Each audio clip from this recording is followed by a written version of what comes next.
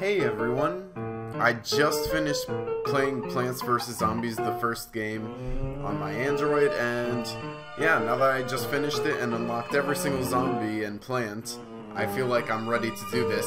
So, yeah, here's my little contribution to Plants vs. Zombies.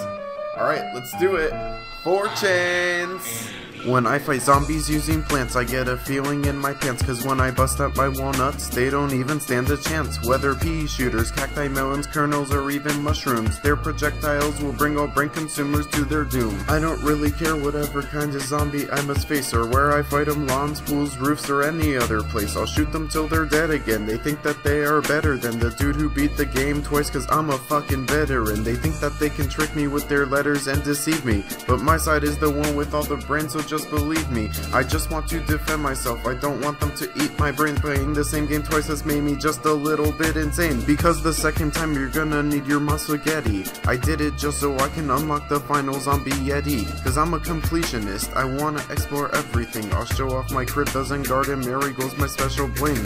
I drop bars like I drop a corn kernel. Doctor Zomboss making plans that are infernal. Summoning Gargantuar is pretty fucking scary. Big ass buff dude with a midget that he carries. Snorkel zombies, digger zombies may as well be trolls. Hiding underwater or beneath their little holes. Besides Gargantuar, the worst of them is Zomboni. The almanac says he's an ogre, so he's phony. And at the end of the game, Dr. Zomboss shows his face, but I'll kick his ass again and put him in his place.